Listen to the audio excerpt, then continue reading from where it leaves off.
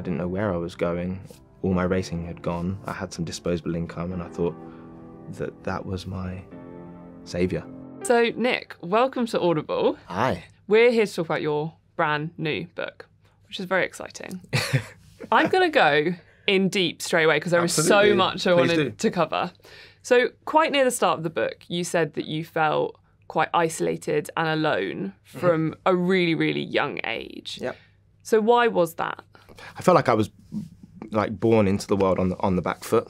Um, you know, I I wasn't breathing when I was initially born. I was whisked away into an incubator. My parents were were given the diagnosis, and I was they were pretty much left to their own devices.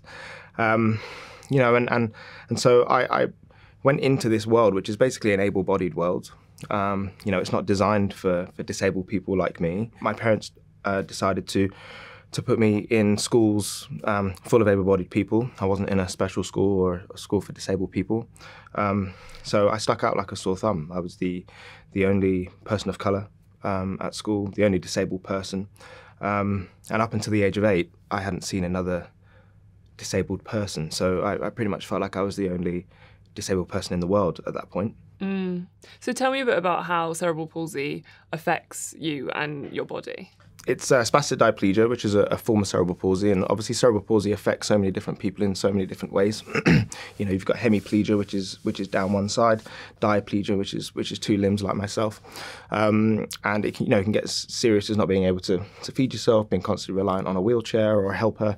So I, I sort of class myself as one of the lucky ones now, at least. Um, but really, it's just um, super tight um, muscles, um, spasticity and tightness in the muscles, um, which means that balance, you know, walking up and down stairs is really, really difficult. Every time I try and take a step or a movement, it's almost like someone's trying to push it back in the opposite direction. You know, it's almost like you've you've got someone trying to make it difficult for you to make a move. Um, but it's like a domino effect. So once you start trying to walk, it affects your skeleton in different ways. You know, because everything has to try and compensate for the movement. So then that affects um, the spine. So I've got scoliosis in the spine, and I pop ribs, and my pelvis, you know, is super tight. And so it just it just compounds. Yeah. Um, you know, but at the end of the day, you can't have the disability take over your life. Um, you got to grab it by the scruff of the neck if you can, um, and try and do the best best you can with it. And you know, that's how I've lived my life so far. And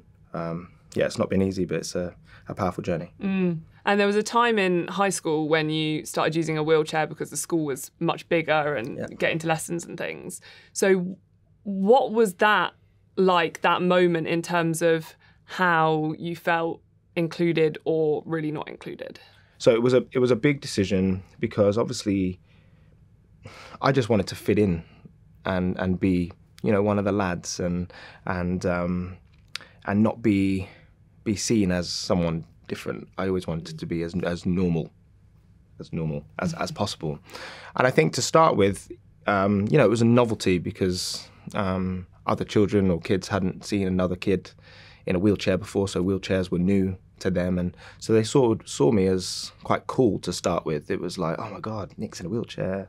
You know, can I push him? Can we go here? Can we go there? Can I go to you know break early or lunchtime early or whatever? So it was a novelty to start with, and so I, I instantly felt, okay, this this sort of put me in a position where people sort of understood that I was different and they were okay with the difference. And yes, it helped physically for me where I didn't have to walk. Um, but I think it took its toll as time got on. And yeah, by the time I got to 15, the novelty wore off and, you know, I just got bullied from there. And you say that you never talked to your parents about bullying. Why did you never speak to them about it?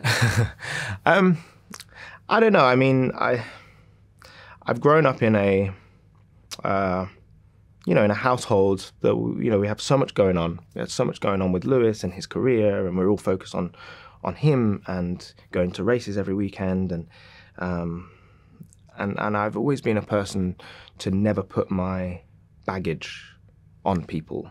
Um, a because I didn't want my mum to worry. My mum, you know, has that motherly instinct. As soon as I said that I was being bullied, I, I didn't want her to to lay awake at night and worry about it.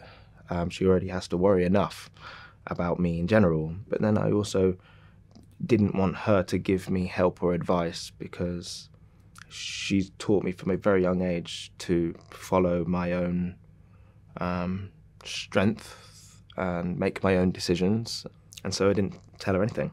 And I don't agree that that's the right thing to do. Um, that's just what worked for me, and that's the whole point of the book. It's you know I I don't know the answers of anything.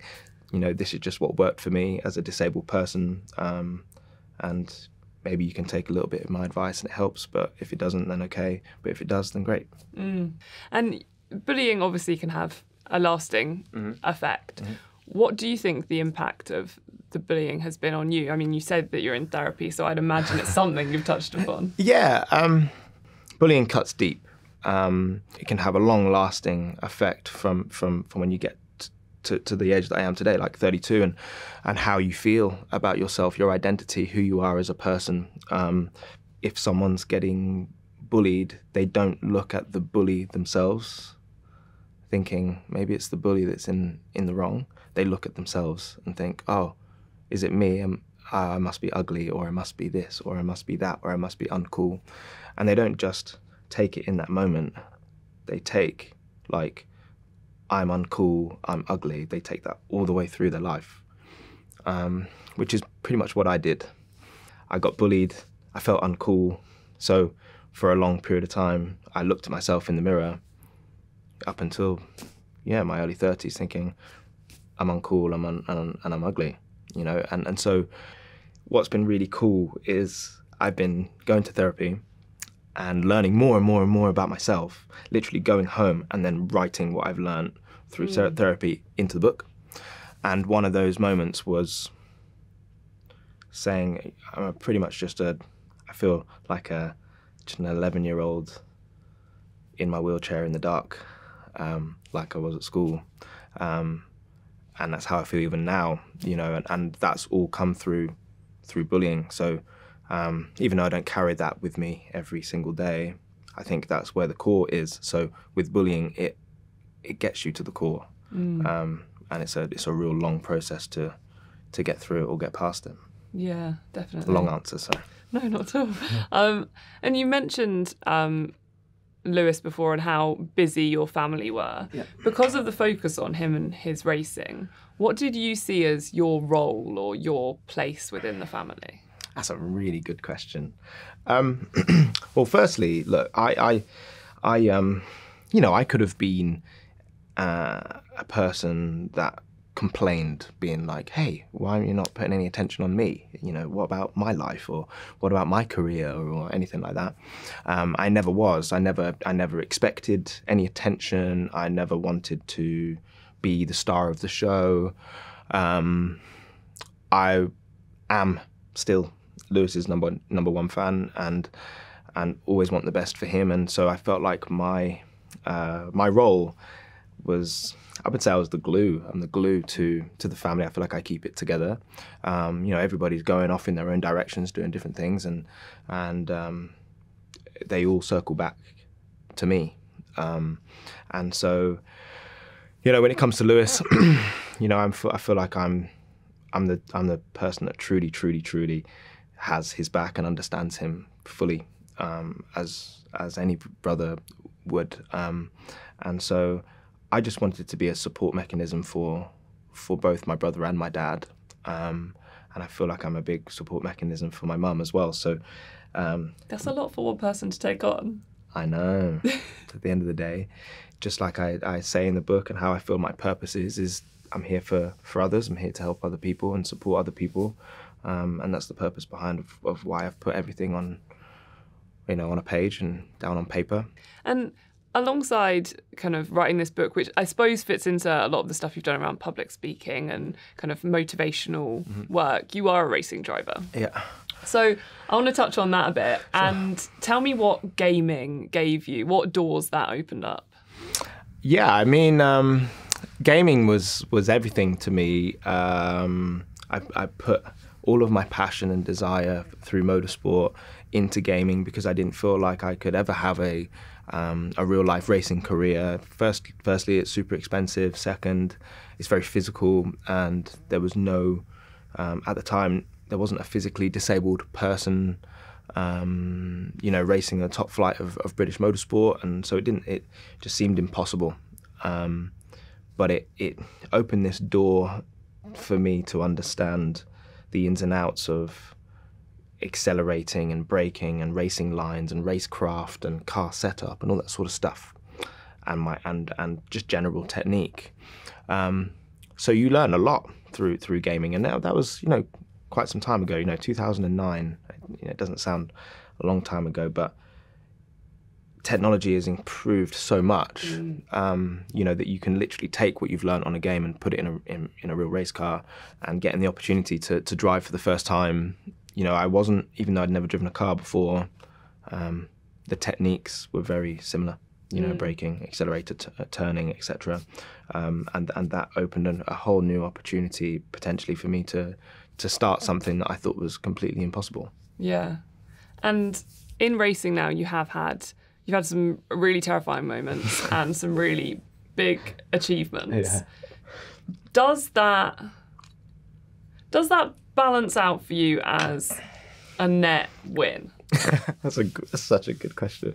Um, look, I mean, I've gone from um, being born at four pound four, told that I would pretty much never walk, and if I was going to walk, it'd be with a stick, um, to being bullied at school, being in a wheelchair, struggling for purpose, to to being a racing driver who has um, created history in the sport um, achieved more than I could ever wish to achieve in the sport. But not just that, I've inspired thousands and thousands of, of, of people, both able bodied and disabled, through uh, what I've done, um, through my achievements, through my, my mentality, my strength, um, and really taking my disability to a new height. Um, if I didn't have that to focus on, I would still be in a wheelchair. I wouldn't be living independently in my own house. Um, I don't know where I would be. Um, and so, motorsport, I haven't just achieved something in motorsport, I've completely turned my life upside down at the same time. And with, with motorsport, inevitably there's going to be accidents and crashes and, and whatever. Um, so, this is 100% a, a win, um, even if I crashed a million times. Um, the fact that I'm in a race car driving, beating, and racing against able bodied people, considering where I was when I was a, an 11 year old kid. Didn't think I could have relationships, didn't think people would really give me their attention or care about me um, to have achieved to have achieved what I've achieved and you know put myself in the history books um, is definitely a definitely a win. Yeah. Mm. and you also write that you should never you don't think that people should ever take the easy road. Um, so I'm really curious about this because there's pushing yourself and not taking the easy road, yeah. and then there's not giving yourself any self compassion. And you seem yeah. to have some balance absolutely of the two, which mm-hmm. I think is really difficult.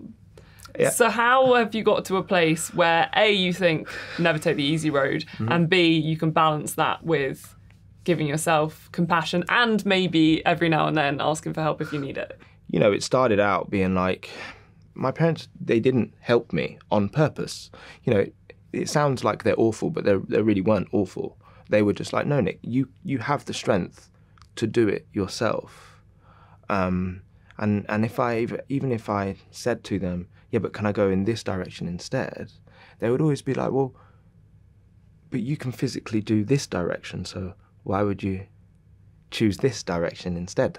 You know, why don't you give the the the, the harder route a go and work backwards if need be from there? Um, and so that's always been ingrained in me. So so I would always take you know the harder route because like it, it just always leads to personal growth, even if it's negative. So even if it doesn't work and I fail, I feel like I've grown really well through that failure. Um, so I would rather fail at the hardest route than succeed at the easiest route all the time. Mm. And given you think that failure is so important, you write that in the book. I do. What would you say your biggest failure is? It's an amazing question. Ooh. Never thought that. So I have two. you know, obviously, um, you know, through lesson six, you'll you'll have read my, my my gambling issue that I went through, gambling addiction that I went through. It's a big big failure on my my part. Um, even though it's led to personal growth, it was a it was a huge huge failure on my on my part that um, I've never really forgiven myself for. Um, what happened there? What happened? What? As in, like, what? Why did you start gambling, and, and what was the situation?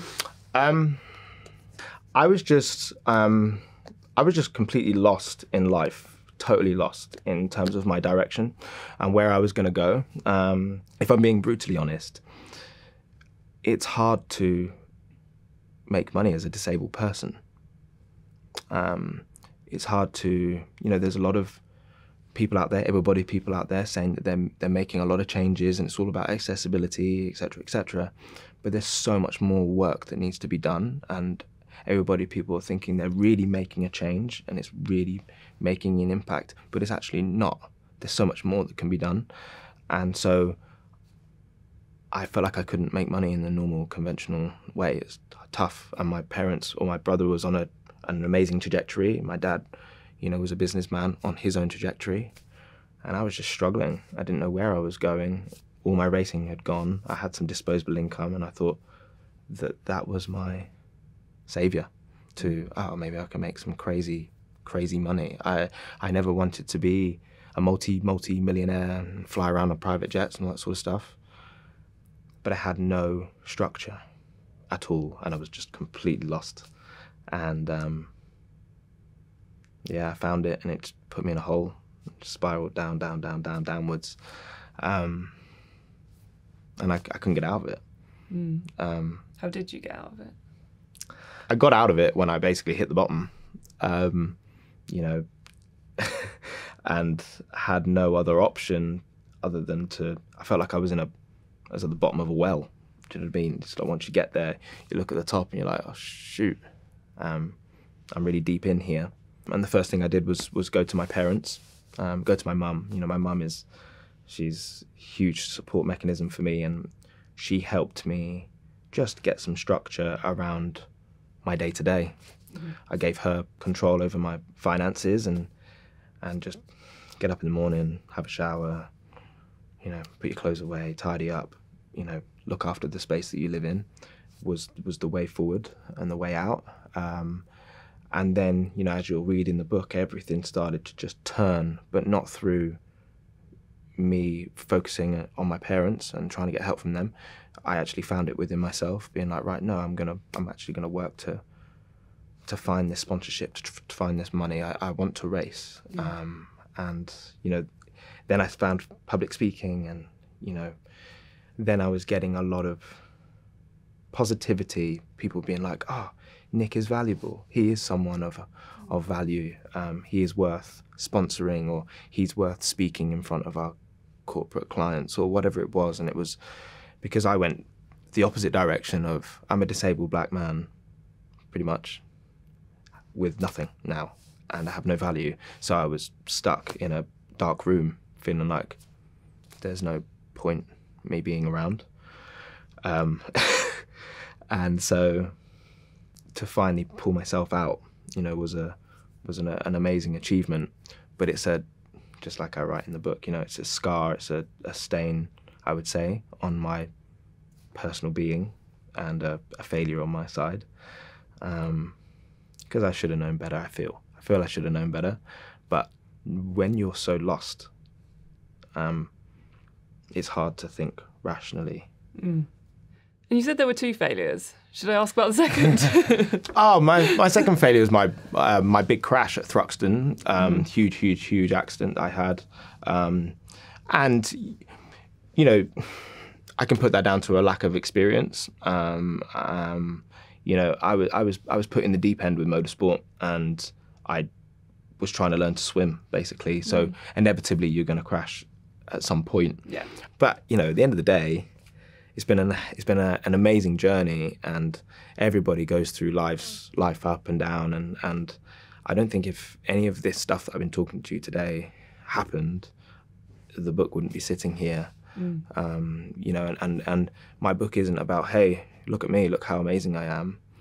Um, it's look, it's it's hey, look what I've been given in terms of I got given this condition, and there's loads of parents that are in the same position my parents are in, thinking, what's my son or daughter going to be like when they get to 30? Will they be able to have relationships? Will they be able to be a part of normal society? Will they have friends? Can they get a job? Can they go out to the pub and have a laugh and have a, you know and be a part of everybody? Um, and that's the whole point. Is yes, they can. Um, they can just be a normal human. Because there's a lot of my problems and troubles. It's not because I'm a disabled person.